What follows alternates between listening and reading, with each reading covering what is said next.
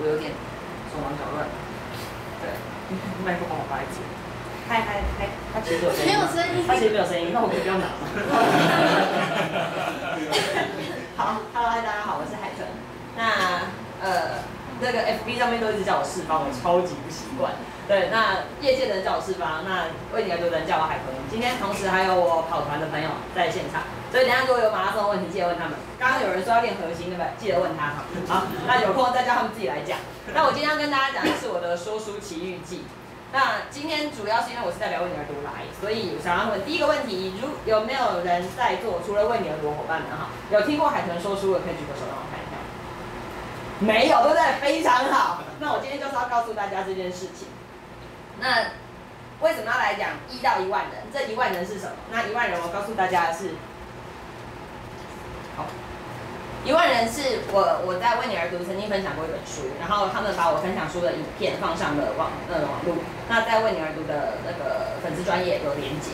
那截至一个月前吧，我们应该目前的观看人次超过一万人，对，然后触及率大概三万九千，应该已经应该已经破四万，对，应该已经破四万，所以这是我始料未及的。那是哪一本书呢？你看一，是这一本华顿商学院最受欢迎的谈判课。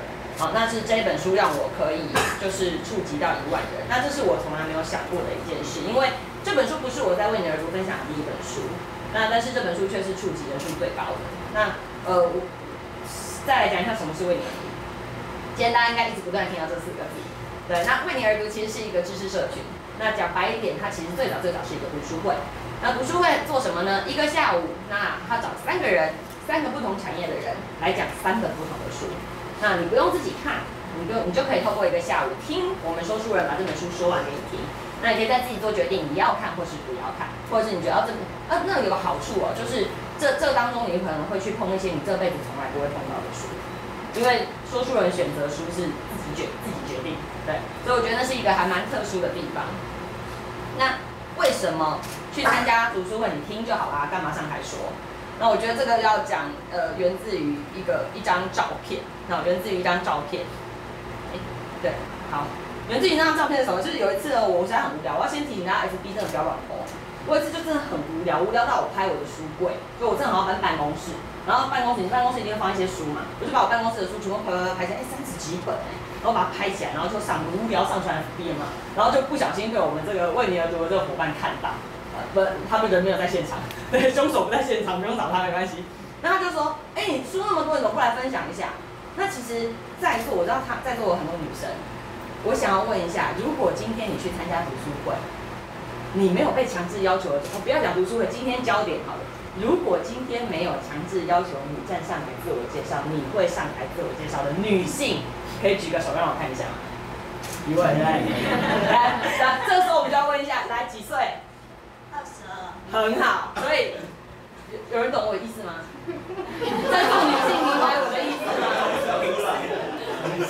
我告诉大家为什么。呃，我我当然当然我当然我比他年长没有错，然后比他年长没有错，但是我要告诉大家为什么。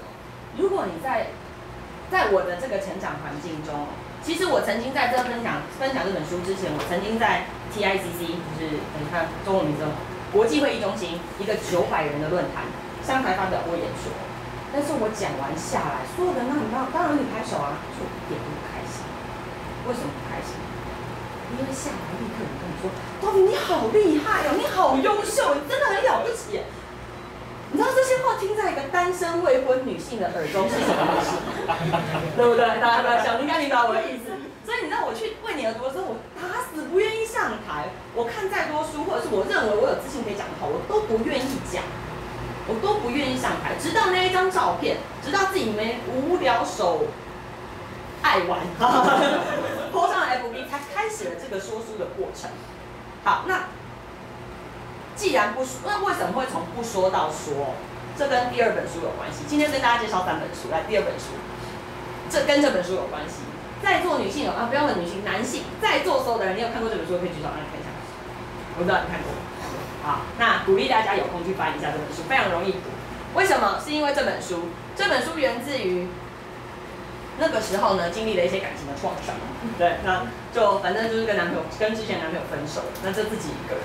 那你知道分开这种难受的事，我就会把自己躲起来，把自己关在家里。这关在真的无聊啊，那既然没事就看书，就看看看就看到了这一本。后来我就觉得说，我不能再这样下去，我应该要走出去认识的，我应该要走出去认识的，所以我开始做了两件很疯狂的事。第一件，因为我本来自己就会运动，可是以前我跑马拉松，我一个人跑，我我我自己跟我的家人，我觉得这样就够了。可是那个时候我觉得不行，我要认识人，所以我去加入了跑团。所以今天有跑团的朋友陪我一起跑，还要讲多疯狂。早上我们一起跑了建中建十八 K 山路再下来，建中建就是建南路到中社。再回来，这样山路十八公里，我们跑完在一起过来，所以其实现在三个有点晃神，对？好，我就决定我不要一个人跑，我要一群人跑。再来，我不要一个人读书了，我要一群人读书。所以我去参加了读书会。那读书会更好笑了，那你好好自己书看一看就好，干嘛上台讲？你要自己看完上台讲，第一第一个做这件事的人，很像一个傻子。可是当一群人一起当傻子，有没有？套中岛路，然后把路下跟要死路大好过去走山路，有没有？当一群人一起当傻子，这件事情就就没有那么傻，它就成为了一个风潮，它就成为了一个风潮。好，那我们回头来讲，那为什么？哎，对不起，那我们为什么因为这本？那为什么我要因为这本书而站上讲台，站上台来分享书，而且分享的书还是这种演亮亮的谈判？这本书里面，呃，《挺身而进》里面有一句话，我觉得非常好。他说：“你面对障碍，就像呃，就像你面对这个年龄单身女性。”不小心太优秀了，成功了这种障碍，你会形成什么？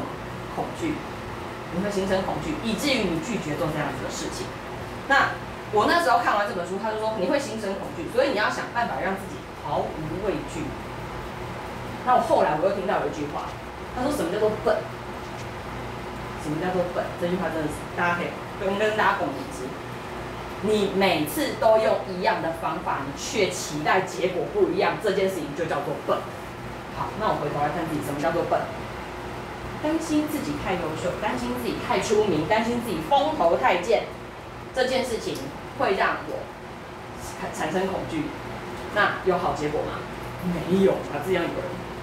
呃，对，那所以我决定怎样站出去认识朋友。所以我决定用不一样的方法，我期待会有不一样的结果，结果还真的很不同，还真的很不同。好，那最后我要跟大家分享，结果很不同，是我可以用一本书认识。接呃接触超过一万个人，我曾经用一本书实际面对面这样讲书讲超过一百人，一场单场讲超过一百，那更更不用说有一本书累积起来碰到的人次就更高，所以那是我始料未及的结果。好，那回头来讲，今天我既然因为这本书突破了，我站上了舞台，因为那本书碰到一万个人，那为什么选说书这件事情来作为我突破的突破点？每个人擅长事情不一样啊，那为什么我选这件事？这跟第三本书有关系。好下一页，对，谢谢。这本书我相信很多人看过，它非常的轻薄短小，小小一本，然后非常适合那个等车跟等飞机的时候看，比如无聊的时候可以塞在包包里，很轻。好，我选了，为什么选这个？因为那个无缘的朋友，因为那个让我躲在家里，至于后来站出去的那个无缘的朋友，因为我曾经在跟他讨论分享书的过程中，他一句很很简短的鼓励，就我觉得你是一个很有故事的人。我觉得总有一天你可以站上，呃，那个时候我们在跟老师在聊菜，他说我觉得总有一天可以站上菜，我就说我上菜的干嘛？那个时候第一时间的反应就像我前面的反应，我上菜的干嘛？那么出名的干什么？那么厉害干嘛？我可以会员帮我好棒棒啊，嗯，对不对？好，那因为这一句鼓励，因为这一句，因为这个，因为这件事情，我许下了这个心愿。那因为跟他分开之后，我觉得好，我要找新方法，所以我开始了勇气。那也因为为你而读了一个机会，所以这本书是成为我站选择突破自己舒适圈的一个点。对我知道刚刚有人想要突破舒适圈，好，那这后面我要跟大家分享一句圣经的话，因为我自己是基督徒，代业。这句话成为我今天愿意走出来站上去，甚至把自己的影片抛在。F B 上，你知道那是一件很害羞的事情，自己在自己在电脑前面看自己讲话，这很奇怪呢。对，但是我觉得这句话对我来说是很重要的一个动机跟很重要的一个出发点。没有人点灯用器皿盖上，或放在床底下，乃是要放在灯台上。干嘛？叫进来的人可以看见亮光，因为你是灯啊，因为你是发光体。那既然你是发光体，你就不需要躲在桌子底下。我知道今天不止女生，今天也有很多男生，很多时候你会面对到一些障碍，我不知道你的障碍是什么，可能年纪，可能身高，可能体态，可能任何事，那是你个人的障碍，以至于你面对这个障碍你会产生恐惧。那，请你给自己一点勇气去突破那个恐惧，去突破那个恐惧。好，那怎么突破？最后一张投影片送给大家，跑出去。有人在笑，对不对？因为这件事情，为什么他在笑？这件事情是因为我们想要帮助他，跟我们自己也想要完成这个心愿。我们那天做一件很疯狂的事，我们从台北车站，沿着火车站一路从台北车站跑到基隆的百福车站。有没有人数得出来几个站？啊，有没有搭火车？台北、松山、南港、细科、细致、五堵。七堵百福，对，我们还会继续跑下去。我们计划用一年的时间吧。呃，差不多两。差不多两年的时间。应该会跑到外县市。对，我们计划两年的时间，我们想要把全台湾，对不对？全台湾的火车站都跑一遍。所以，如果今天你不敢，你就找一群人陪你当笨蛋。所以今天的焦点分享就先到这里，呃，到这边，谢谢大家，我是海豚。